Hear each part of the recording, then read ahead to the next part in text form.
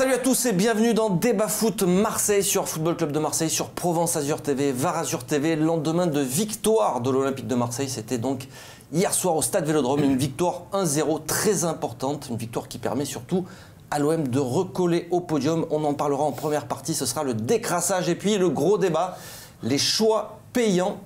Point d'interrogation de, Jacques-Henri Hérault. Ce sera pardon, le, le gros débat avec mes invités du jour. Jean-Charles est avec nous. Salut Benjamin. Ça va Jean-Charles? Très bien. J'ai plusieurs raisons d'être euh, bien aujourd'hui. C'est vrai. La victoire de l'OM, Et- mon ami Gérard. Notre invité du jour, Gérard Gilly, merci euh, d'être avec nous. Euh, pour bonjour de Benjamin, de et- Marseille. En- Enchanté de, de faire votre connaissance et de, et de, de participer. On va passer un bon moment ensemble, une petite demi-heure avec Mourad également. Voilà, Euh, je, je m'assois à côté de gens de plus en plus prestigieux hein, parce Ouais, que c'est ça, voilà. Gérard, c'est Ouais. deux titres de champion avec l'OM. Oui, deux titres de Le champion. fameux doublé. Oui. Voilà, des demi-finales de Ligue des Champions, des matchs un peu historiques, c'est quand même un petit peu et, et une remontée en, en Ligue 1 aussi. Deux, En Ligue 1 en 96. Oui. Voilà. deux remontées. Et aussi, Avec nous, Oui, oui. en 94, et oui. C'est vrai, vous avez, et Ah vous non, avez, vous joué ensemble. C'est vrai, Eh oui, c'est vrai. eh oui. Vous vrai. avez rejoué ensemble. Un morceau d'histoire est, est avec nous, voilà, de l'Olympique de Marseille aujourd'hui. On est très content et on va parler directement de, de cette victoire de l'Olympique de Marseille hier soir face à Nice. C'est tout de suite, c'est le décrassage.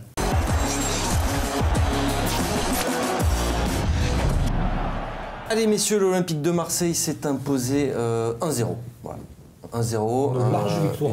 Une, une victoire surtout très importante. On fait le décrassage euh, chaque semaine et on commence chaque semaine par l'analyse à froid. Euh, Jean-Charles, qu'est-ce que tu as pensé de l'Olympique de Marseille hier soir? Bon, je pense qu'il faut retenir déjà les trois points. C'était très important pour euh, l'Olympique de Marseille. On ne peut pas dire qu'on a vu un grand match de la part des deux équipes. Alors, effectivement, c'est vrai que cette équipe niçoise n'a pas produit de jeu, peut-être par le pressing aussi imposé par l'Olympique de Marseille. Il n'y a pas eu énormément d'occasions de, de part et d'autre. Mhm. J'ai eu une équipe très faible euh, de Nice, avec un Olympique de Marseille qui a pressé pendant un moment, pendant 20 minutes, là, et qui a mis sous pression cette équipe niçoise, et qui à un moment, à un moment donné a lâché. On a pu s'apercevoir une nouvelle fois que Balotelli a, a été présent dans, euh, dans la surface adverse en marquant ce but pour donner trois points à l'Olympique de Marseille. Il n'y a pas grand-chose à retenir sur cette rencontre, et surtout les trois points qui permettent de, de se rapprocher Mhm. Eh oui. de Lyon à, à trois longueurs. Bah, Pour une fois, euh, en tout cas, euh, les Marseillais ont, ont saisi cette opportunité-là.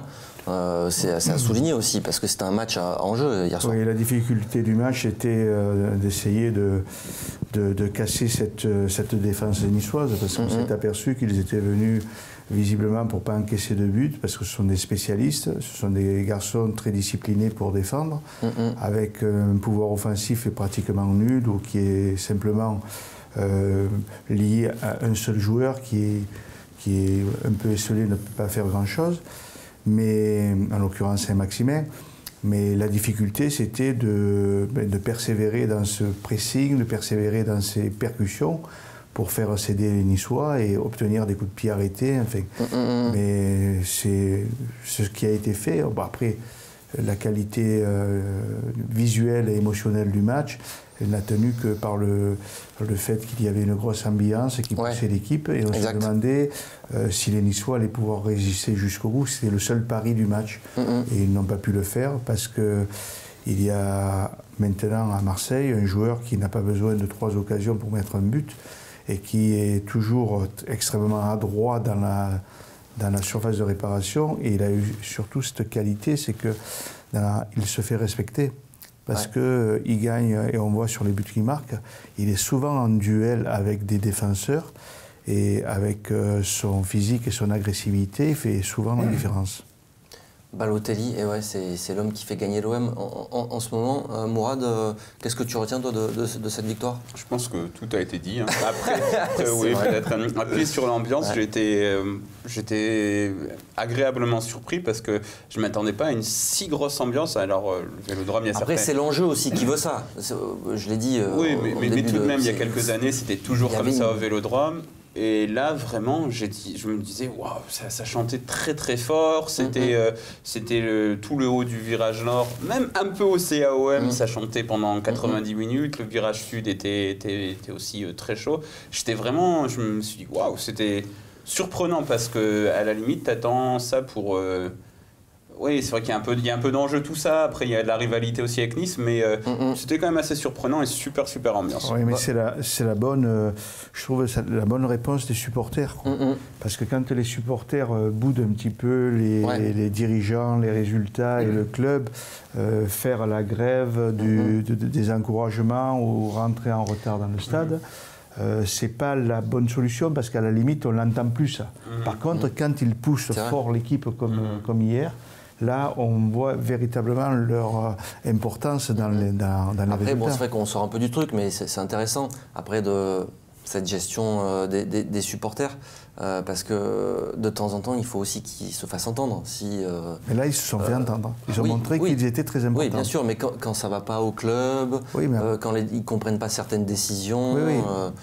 En fait, c'est la vie du club, ça. Voilà, C'est la vie du club. euh, Mais là, ils montrent leur importance. Là, ils Exactement. apportent cette euh, forme, de- cette dynamique extraordinaire qui fait que, vous savez, quand on joue, euh, moi pour l'avoir fait, euh, j'ai travaillé avec, avec Marseille, mais j'ai aussi joué contre Marseille.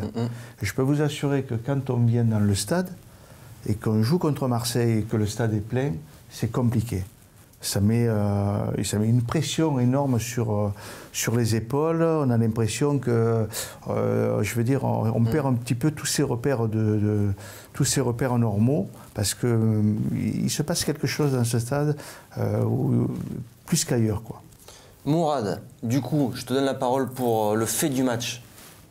Bon, c'est, je dirais les deux têtes de Balotelli, parce qu'il en a deux, euh, pas tout à fait similaires, mais il en a une première, je crois que c'est la 26e minute en première période, où il a joué un peu collectif sur un centre euh, venu de Sarr. Il, a, il essaye de la remettre à Ocampos, ça passe à deux doigts de faire but. Donc, euh, comme quoi, il prouve qu'il peut aussi jouer collectif, qu'il joue pas tout euh, pour, euh, pour sa pomme. Et la deuxième fois, bon, bah, il a joué pour sa pomme, et je, il y avait, je pense qu'il y avait encore Ocampos. Non, Ocampos lui fait le centre. Ouais. Enfin, il y a Tovin qui est derrière, mais il me semble qu'il y a un autre Marseillais encore dans la surface, mais il la joue pour lui. Et voilà, il en a joué une collectif, une, une plus individuelle. Il a marqué un but, il a fait la différence. Et cette, euh, enfin, je trouvais ça intéressant de voir euh, deux situations similaires, deux décisions différentes, et puis au final presque deux décisions décisives. Jean-Charles, tu as un fait euh, du match différent? Pas vraiment. Moi, j'ai plus envie de parler aujourd'hui des supporters. Ok. Ça nous manquait tellement et que Mhm. ces supporters-là, Gérard vient de le dire, c'est vrai qu'on a besoin, et c'est pour moi le fait du match. Ils ont tellement poussé, ils ont tellement encouragé qu'à un moment donné, ça donnait des ailes aux joueurs aussi parce que bon, ils butaient face à une défense adverse qui était difficile à manœuvrer. Et puis à un moment donné, ben, ils ont craqué. Après, c'est vrai que le fait du match, c'est euh, le déplacement de Balotelli sur le but. On se rend compte qu'il y a deux défenseurs centraux. Kanté et je ne me rappelle plus qui. euh, C'est Dante, pas Kanté. Dante, pardon. Dante, Kanté, avec, il est euh, plus petit, mais un peu meilleur. Ouais, Dante, et puis enfin, le Ouais. second, à un moment donné, il part pour- enfin, il fait un contre-appel et puis il se libère du, du marquage et puis il met cette tête là. Donc euh, voilà, pour moi c'est. On peut aussi parler du centre réussi d'Ocampos, parce qu'au niveau Absolument. des centres, c'est le Ouais. point faible de l'OM hier. Il y a beaucoup de centres ratés. 42 centres hier soir. Ouais. C'est beaucoup quand même, non? 42 centres et il n'y a pas eu une efficacité Ouais, euh, énorme sur. Non, euh, sur les 42, si vous tuez 26 spectateurs derrière, ça pose de problème. C'est ça, parce qu'il n'y a pas eu énormément d'occasions Euh, franches non Il n'y a pas eu de, de grande Euh, réussite. de- voilà, donc les 42 centres. Euh, Mourad me faisait aussi remarquer que c'était parce qu'il y avait euh, Balotelli. C'est ça- c'est un changement aussi euh, au niveau du jeu Ouais. de, de l'Olympique de Marseille, ça. Je, je pense que euh, quand on détermine la- les qualités d'un avant-centre, le Mhm. physique, les caractéristiques d'un avant-centre, ça implique qu'on prend ensuite tous les joueurs prennent en compte cette, euh, cette capacité et Mhm. le jeu, à un moment donné, se- s'oriente vers lui. Quoi. Tout ce qui est fait, c'est pour lui. Mhm. Quand on a un bon joueur de tête, en général, on s'oriente vers des dédoublements sur les côtés et des centres parce qu'on a un bon joueur de tête. Si on a un joueur qui est petit et qui est rapide, c'est peut-être euh, différent. On cherche les ballons en profondeur dans les espaces. C'est la qualité de, intrinsèque de l'avant-centre qui doit déterminer le, et orienter le, Oui, le- puis il faut qu'il soit soutenu aussi par tout le groupe, ce qui n'était peut-être pas forcément le. Ce, qu'on a pu remarquer aussi, c'est le, le- le- changement de, de jeu de Tovin. qui centrait exact. beaucoup moins avant et qui faisait son crochet intérieur pour se mettre sur sa bonne patte gauche pour frapper. Là, il y a plus vrai. souvent de centre de, de Florian Thauvin qui cherche, notamment Ouais, comme et dit Gérard, euh, il y a la personnalité aussi de Balotelli. quoi. qui aspire le jeu. Il aspire le jeu. Il, est, Quand, il demande tellement le ballon et puis il, y a tellement de et respect. quand on ne lui donne pas, il y a commence, un regard qui à, se commence à manifester. Ouais.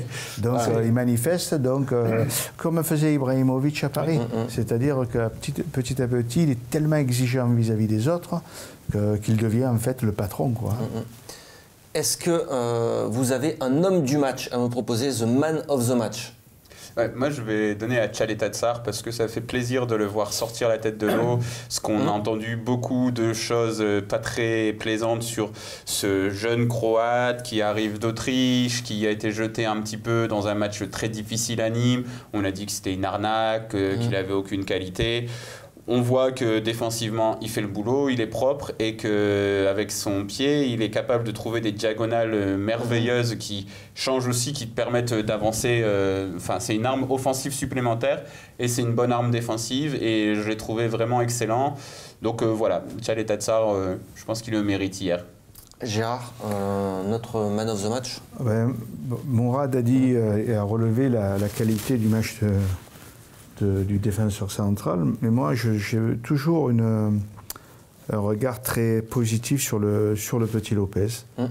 Parce que, mine de rien, il est toujours très disponible et il permet au, au- au jeu de toujours euh, se dérouler dans une certaine dynamique. Il, euh, le ballon est toujours en mouvement et c'est ce qui permet aussi aux autres de, de, de- de- de- de jouer. Ça nous fait rire, ouais. Parce que la semaine dernière, on a eu Avi Assouli ici qui, euh, lui, euh, déjugeait un petit peu le, le petit Lopez. C'est vrai que. C'était sur l'aspect défensif, être- Alors j'ai une petite. Ouais, mais- Du coup, j'ai regardé un peu ses stats, moi. Euh, et il y a une stat qui montre aussi son apport défensif c'est le nombre de ballons qu'il est venu récupérer, qu'il a gratté, qu'il a, qu'il a gagné. Euh, et c'est celui qui en a le, le plus gagné, 15 ballons. Ouais, Euh, mais- C'est le deuxième en fait, parce qu'il y a Sakai qui en a, qui en a gratté 18. Voilà. Mais voilà, il, a, Non, mais il en a dans, gagné le, deux fois plus qu'un dans, le- dans la transi- transition défensive-offensive, il est essentiel. Mais une petite question, euh, Gérard, parce que donc, comme tu as, voilà, t'as un vrai grand passé de, de tacticien, il y a un peu une mode maintenant, c'est de, de jouer sans vrai milieu défensif. Parce qu'on voit que maintenant, on joue avec Lopez et Sanson. Et euh, comment on gère ça défensivement, justement Parce que tu peux pas demander à Lopez et Sanson de défendre comme Gustavo, par exemple. Oui, mais avant, il y avait une, une période où il y avait le milieu défensif, c'était un costaud qui cassait le- les, les- Mhm. les joueurs, tout ça. Bon, il y a eu des- des- des- un arbitrage qui a changé. Aujourd'hui, dès qu'on touche quelqu'un, on prend un carton. Donc, ça a modifié totalement le profil. Ensuite, il y a eu euh, Daniel Bravo qui jouait numéro 10 à Nice et qui est devenu numéro 6 au Paris Saint-Germain.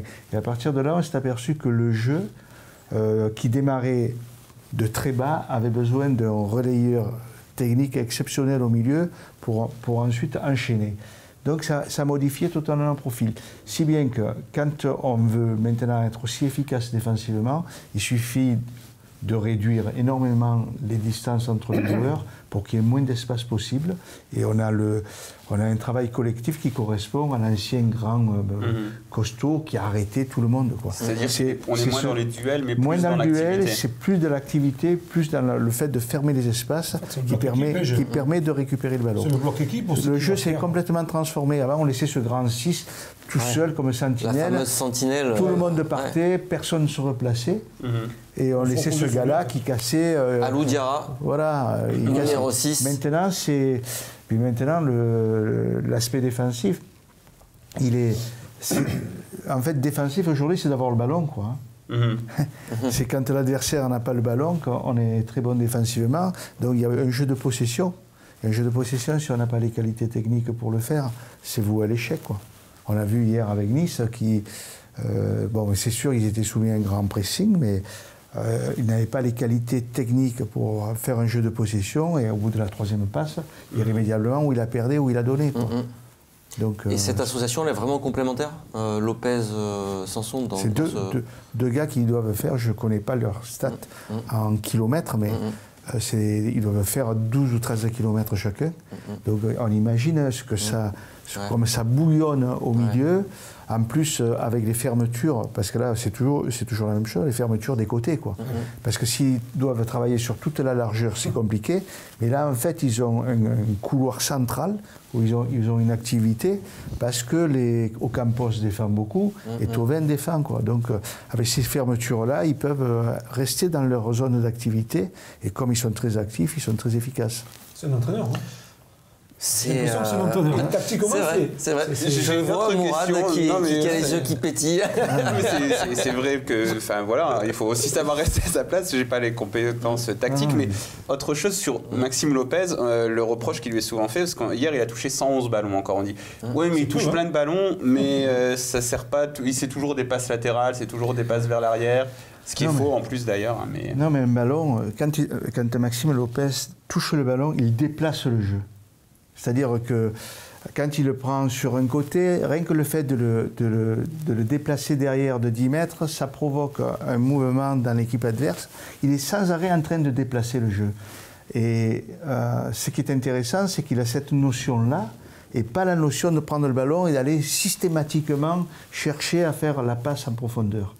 Donc, dans, dans- la passe en profondeur, elle va se faire parce qu'en déplaçant le jeu, à un moment donné, il trouve des espaces. de l'autre Mhm. côté. Donc, il est, déjà, il est à l'origine, en fait, de la création d'espaces un peu plus En tard. fait, il fait bouger le bloc, le bloc équipe Tout le temps, C'est le ça temps. qui est intéressant. Parce que c'est vrai, on a souvent tendance à dire, et on nous a dit nous aussi sur ce plateau, oui, mais il joue latéralement. Mais effectivement. Mais c'est pas Si neutre. tu regardes Paris, Ouais, c'est pas neutre. Gérard Paris, qu'est-ce qu'ils font Il faut Oui. des passes de 3 mètres. Hein Latéralement, c'est pas neutre. Ça fait Latéralement, les, les adversaires. latéralement, ça te fait bouger de 40 mètres Ouais, tout un bloc. De l'autre côté, il y a toujours des espaces. Donc, euh, et puis, le- l'équipe a intégré ça. C'est-à-dire, quand on donne le ballon à, à Lopez, on n'attend pas de lui qu'il prenne le ballon et qu'il aille systématiquement provoquer. Il attend de lui qu'il y ait un début d'un mouvement collectif qui va s'effectuer, avec souvent un changement d'aile de l'autre côté, parce que l'autre côté est libre.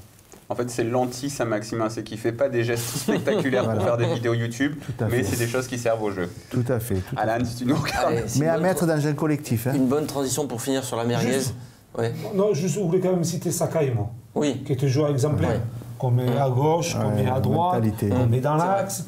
Il est toujours là, il est présent. Hier soir, il a montré une nouvelle fois qu'il était capable de centrer pied gauche, qu'il était capable de bien défendre, qu'il était capable d'aller donner un coup de main. Et même il capable d'être l'axe. d'être dans les tribunes, des fois, et pas jouer, d'avoir toujours la même, euh, Même mentalité. mentalité. Non, mais je, Et- je- je trouve que enfin, j'apprécie énormément ce joueur-là, parce que c'est un joueur de, de- de- de qualité dé- déjà, mais surtout d'une mentalité irréprochable.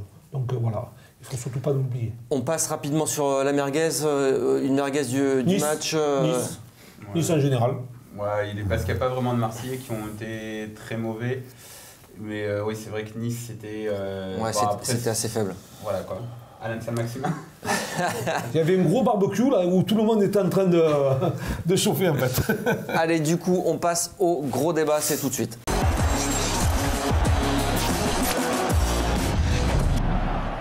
Allez, le gros débat du jour, euh, quel est-il? On va parler bah, des choix forts finalement de, de Jacques Henriero. Il en a fait deux cet hiver. Le premier, c'est d'avoir conservé Rudy Garcia, qui était, euh, qui était plus que... Sur la balance Ouais, il était, il était conspué par une grande partie du public, euh, vivement critiqué par les médias. Donc Rudy Garcia, Jacques Henriero a décidé de le conserver. Et il a fait un deuxième choix fort, c'est d'avoir recruté Balotelli durant le mercato. Et euh, résultat, aujourd'hui, l'OM euh, enchaîne, a enchaîné les bons résultats et se retrouve plus qu'à 3 points euh, du podium.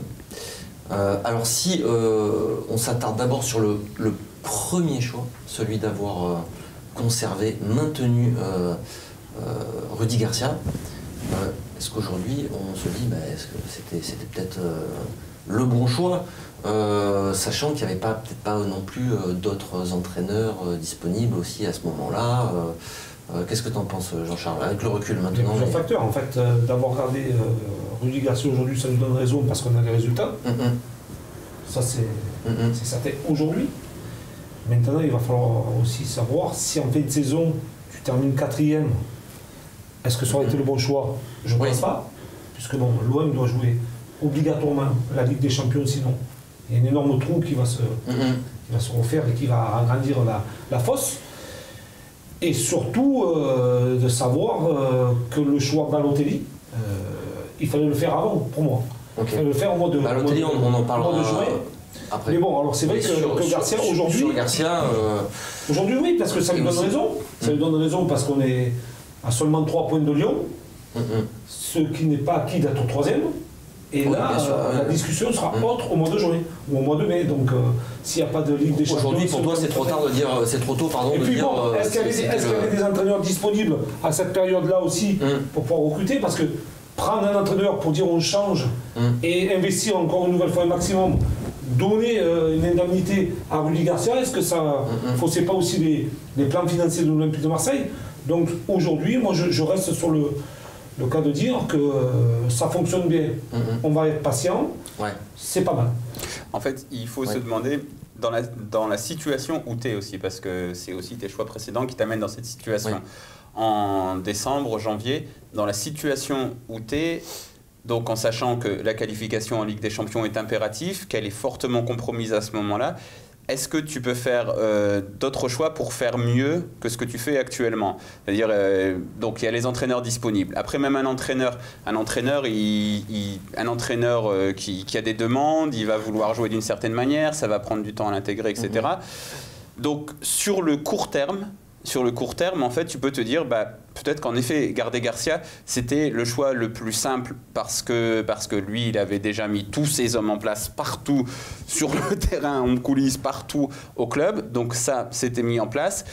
Et après, ben, tu, tu lui offrais enfin ce, ce, Balotelli euh, qui, qui voulait. Donc, euh, Mhm. En fait, il y a, à court terme, tu peux te dire, oui, après, il y a le long terme. Et le long terme, ça, c'est la question, c'est une autre question. C'est une autre question, que tu- qu'on se posera tout à l'heure. peut-être que tu pouvais, tu- tu pouvais peut-être changer d'entraîneur Ouais. pour euh, refaire un autre truc sur le long terme, mais là, tu vas au bout de ton, ton OM Garcia Project en te disant, bon, bah voilà, je- coûte que coûte, on verra où ça nous mènera. Et tu peux te dire, bah oui, peut-être que pour avoir des résultats immédiats, c'était peut-être le truc le plus simple à faire. Après, Le plus il a- simple, il mais c'était pas. Nous, on s'était positionné euh, pas dans ce sens-là. hein, euh, Bah, bah oui, mais parce que c'est c'est aussi résultat court terme, Ouais. euh, plaisir de jeu, machin, tout ça. Donc, Gérard, c'était un choix fort quand même parce que il y avait que, tout le monde contre, contre Garcia à ce moment-là. Ouais, c'est-à-dire euh, que Garcia, il ne faut pas le considérer là comme un entraîneur. Quoi. Là, c'est un manager, puisque euh, c'est lui qui fait venir tous les joueurs, euh, c'est lui qui fait venir euh, le staff, c'est lui qui dirige euh, la totalité du domaine sportif. Donc si vous mettez, si vous, si vous évincez Garcia, ça veut dire qu'il y a une remise en, question de tout. Ça veut dire que les joueurs qui sont venus avec lui, est-ce qu'ils vont jouer avec un autre entraîneur? Est-ce qu'ils vont travailler avec un autre entraîneur? C'est un problème qui est beaucoup plus vaste que de changer une personne. Après, la- l'an passé, il y avait eu une situation qui avait été un peu similaire aussi. Ouais. Il y avait eu une absence de résultats, il y avait eu plus courte. plus courte, mais euh, il y avait eu une réponse positive qui, a été, qui avait été donnée aux problèmes de- Mhm. de l'époque. C'est vrai. Là, cette année, on se retrouve dans une situation, même si elle est un peu plus longue, mais qui est un peu similaire. Et là, il y a eu, euh, euh, de la part de, de, de Jacques-Henri Hérault, le, souvenir que Garcia avait réussi à inverser les problèmes. Donc, il a cette capacité-là. Et là, cette année, il est en train de montrer euh, qu'il a cette capacité encore à sortir certains cadres et à faire, à relancer. euh, là, c'est une nouvelle équipe qui joue. hein. Ouais, tout à fait. C'est une nouvelle Mais, équipe. mais c'est- mais c'est aussi parce qu'il n'a pas eu trop le choix, parce que c'est vrai qu'on on, on va pas tout lui enlever, mais c'est c'est vrai que il a on a tenu compte des, que, des voilà. événements extérieurs aussi. Oui. Hmm. Mais je pense qu'on l'a Oui, parce qu'il y avait des blessés, il y avait des suspendus. Il y a eu une euh, pression. Voilà, il y avait des joueurs qui ne pouvaient Mm. plus jouer ici parce qu'ils étaient pris en grippe. Mais je veux dire, il a, il, a, il, a, il a fait un cocktail de tout ça. Et il a, il, là, en ce moment, il assume des décisions. Ouais. Parce que je peux vous assurer que ça ne va pas être facile d'avoir un banc de touche avec Rami, Payet, euh, Gustavo, Gustavo, euh, Je peux vous assurer que c'est les- c'est compliqué à gérer dans un vestiaire quand même. hein. Il faut gagner tous les matchs. quoi, hein. Parce que faut- dès que vous faites un nul, euh, immédiatement, euh, euh, il va y avoir des, des questions. Pourquoi pas lui Pourquoi pas lui quoi. Donc, euh, c'est, mais il a, il a fait ce choix-là. Quoi. Le choix de héros aussi, c'est euh, c'est aussi parce qu'il pouvait peut-être pas faire autrement. Il y avait cette prolongation. euh, aussi quelques semaines, quelques mois juste avant le début de la crise, quelques semaines juste avant que, que cette crise. donc c'est ça aussi. C'est est-ce qu'il pouvait si- faire autre chose que, que le conserver lui, qui venait juste de lui signer un nouveau bail? C'était difficile après, une fois que tu sais le nouveau bail, Gérard le sait mais d'accord, mais je veux dire, il y a- Pour évincer l'entraîneur. Non, non, mais Et en prendre un autre derrière. un nouveau bail comme ça, signé à ce moment-là, ça veut dire quelque chose. quoi. Mhm. Mhm. Ça veut dire, euh, Confiance quand même. ça veut dire qu'on lui fait euh, vraiment confiance, quoi. Parce qu'il aurait pu attendre un mois, vu la situation, dire on va attendre un peu l'évolution des choses, quoi. Mais si- signer comme ça, ça veut dire que euh, on le renforce, quoi. Ouais, Il tout n'y a pas de souci.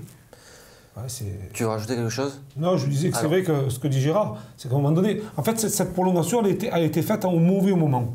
Je trouve qu'à partir de octobre, novembre, ou la prolongation, tu l'as fait au mois de mai, juin, ou tu attends peut-être euh, fin janvier, euh, si ou, ou le juin prochain. Parce que, comme tu disais, c'est vrai que si tu changes d'entraîneur, cette période du mois de décembre, le nouvel entraîneur qui va arriver, il n'aura pas ses joueurs lui. Donc sa composition d'équipe peut être toute, euh, toute différente.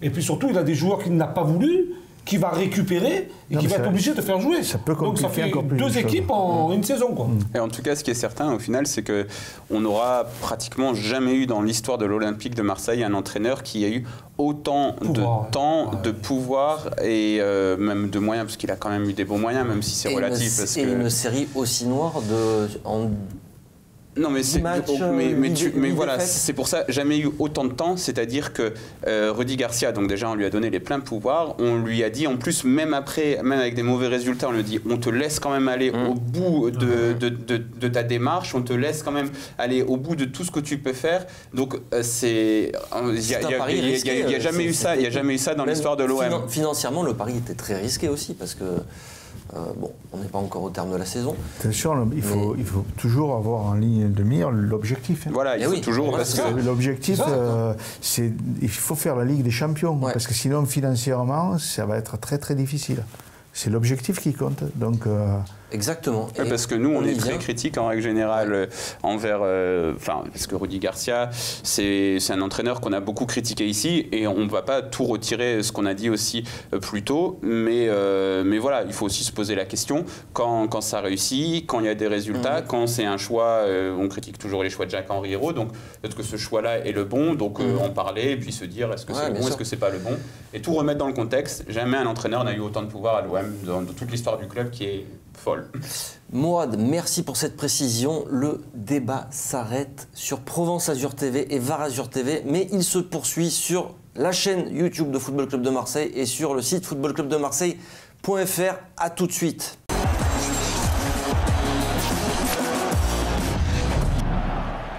Alors on continue de parler de, ce choix de, Jacques-Henri Hérault d'avoir conservé euh, Rudy Garcia. Euh, la question que j'aimerais vous poser maintenant, c'est si l'OM se qualifie pour la Ligue des Champions, donc objectif atteint, faut-il conserver Rudy Garcia? C'est- le pari d'héros, non Euh, De l'avoir fait prolonger. Si la qualification, ça veut dire qu'on lui fait une nouvelle fois confiance. Il aura obtenu aussi euh, Bien sûr. euh, sa Ligue des Champions, donc c'est ce que veut le club, ce qu'a toujours voulu les supporters aussi. Donc je pense qu'il n'y aura pas de changement. Non mais Après, je vois plus l'intérêt de Voilà. devoir changer d'entraîneur. S'il atteint son objectif, euh, voilà. après il y a- il y a- il y a- on sait qu'il y a des cycles aussi pour, euh, Oui, oui, pour, des, pour des entraîneurs, pour des, joueurs. Non mais voilà, c'est Eh une question euh, que, que je pose parce que je pas. Nous, on a, on a pas mal discuté euh, certains choix, euh, ce- le, le jeu aussi mis en place euh, par Garcia, sa gestion des, joueurs, des jeunes. c'est aussi le, le projet. Quel projet tu veux pour l'Olympique de Marseille? Cette question, c'est ça aussi, tu vois. C'est ça aussi, c'est de, la- c'est de la prévoyance aussi, parce, que, Mhm. enfin, parce que là, par contre, je ne change pas mon fusil d'épaule. Dès octobre-novembre, j'avais dit, bah, en fait, je trouve que c'est bête de prolonger Rudy Garcia, parce qu'on sait ce qui est capable d'apporter Rudy Garcia, c'est que quelqu'un qui te remet dans le haut du tableau. Il le fait dans les clubs où il passe, il l'a fait à l'OM, donc voilà, très bien. Après, si tu veux continuer un projet, tu sais que tu vas pas aller plus loin avec Rudy Garcia. Tu sais que tu, tu connais ses limites. Donc moi, je me disais, bah, c'est bien pour lui et pour nous. C'est-à-dire qu'il nous ramène en Ligue des Champions. Donc c'est loin d'être fait encore, hein, parce que là, on est un peu en Mhm. train de s'enflammer, c'est loin d'être fait. Mhm. Donc pour moi, le mieux, c'était qu'ils nous ramènent en Ligue des Champions, qu'ils partent auréolés d'une finale de Ligue Europa, d'un retour en Ligue des Champions du club, et que le club, l'Olympique de Marseille, euh, l'institution, continue à avancer et parte sur euh, quelque chose d'autre. Voilà, parce Mhm. que tu auras, tiré tout ce que tu pouvais tirer du management de Rudy Garcia, et puis bah, tu vas chercher autre chose, peut-être euh, quelque chose qui est plus basé sur le jeu, peut-être quelque chose qui est plus basé sur la jeunesse. Parce Mhm. que la jeunesse, c'est le foot actuel. Maintenant, on fait jouer que des minots qui ont 19, 20 ans. C'est c'est ça, c'est le foot et l'économie du foot. C'est la jeunesse maintenant. C'est un peu triste de voir, euh, de voir des joueurs comme euh, des actifs financiers, mais c'est aussi la réalité. Donc il y a aussi ça. Donc voilà, pour moi, Rudy Garcia devait nous amener en Ligue des Champions et après s'en aller. Donc euh, le prolonger, c'était pas forcément la bonne, Ouais, pas bon, forcément la bonne chose. Et puis là, C'est- aussi compliqué de, de dire euh, merci, au revoir à un entraîneur qui t'a amené en Ligue des Champions et qui a atteint ce- ses objectifs, non, Gérard?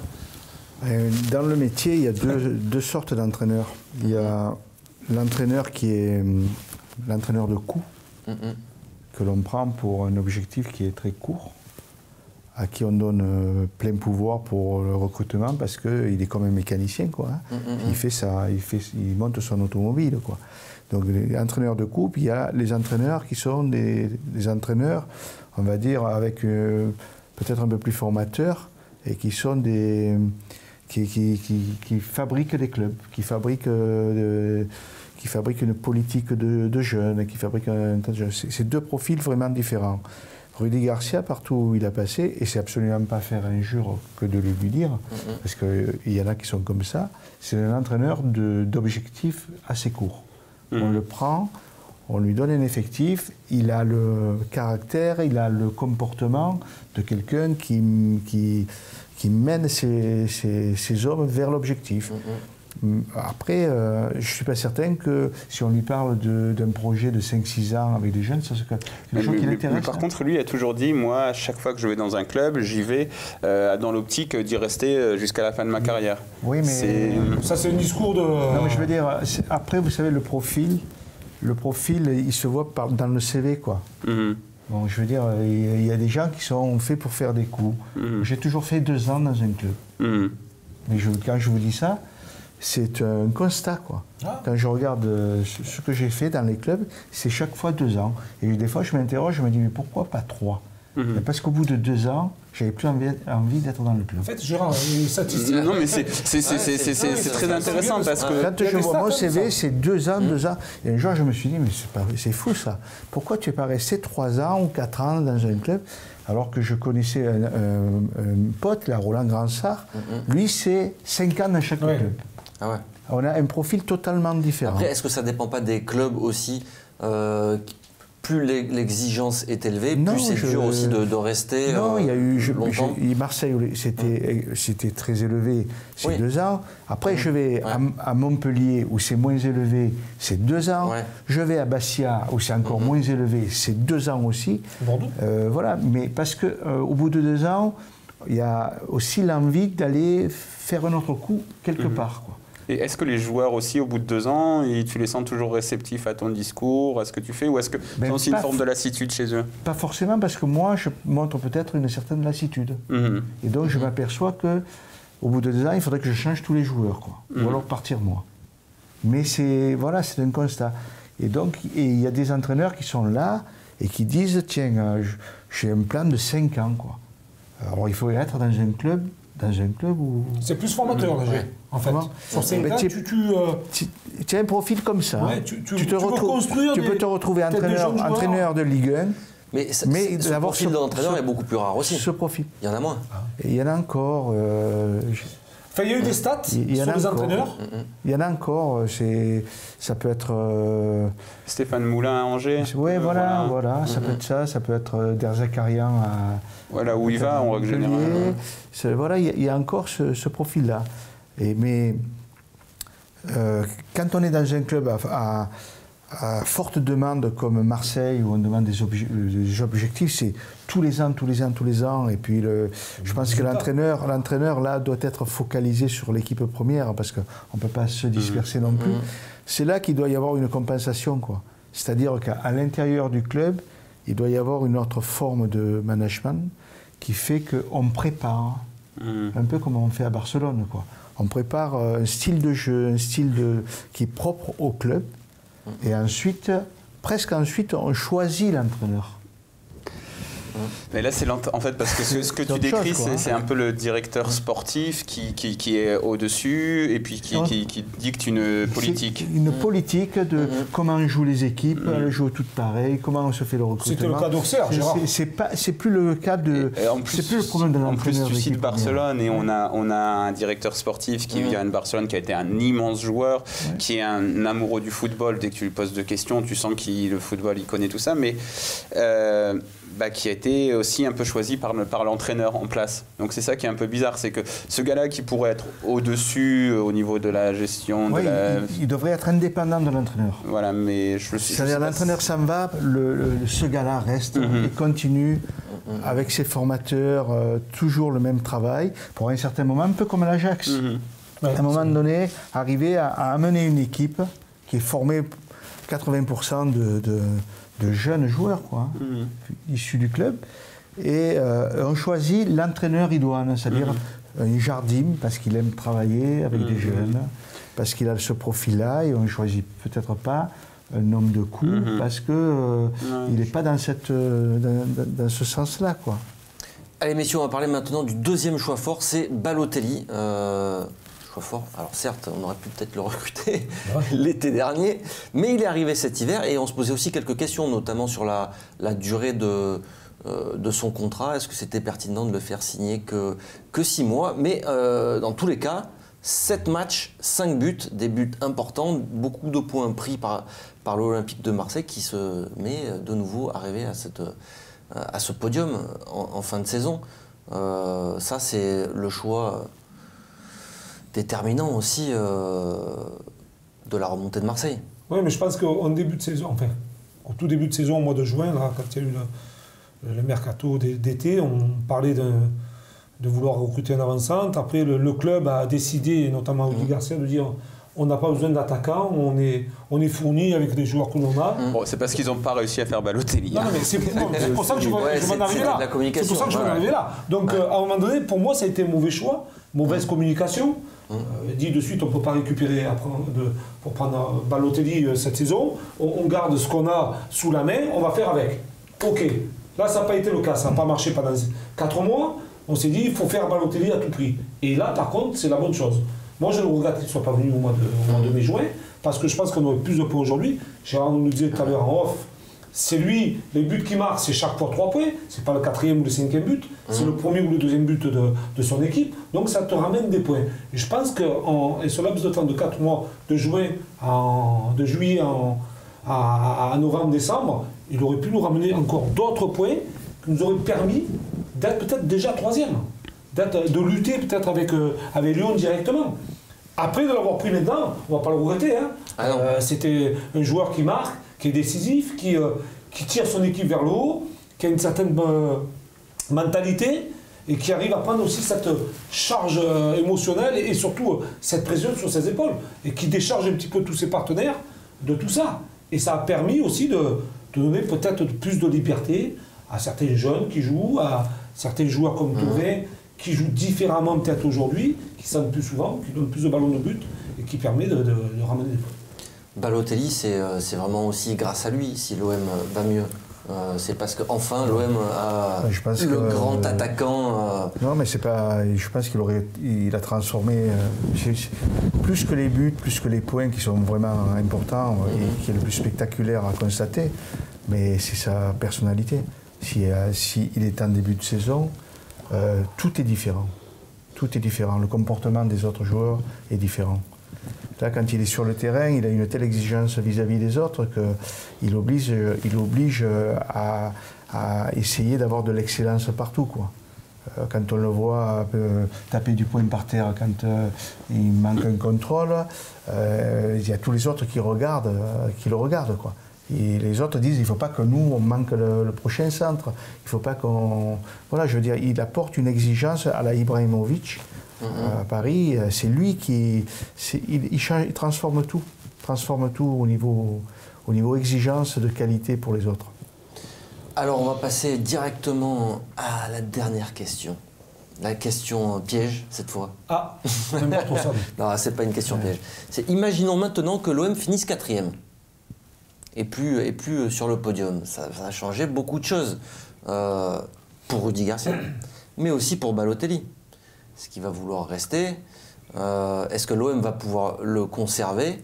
Euh, Parce que l'OM aura les moyens aussi. Est-ce que l'OM euh, aura les moyens? Est-ce que Garcia voudra aussi de, de ce- d'un projet avec des jeunes joueurs?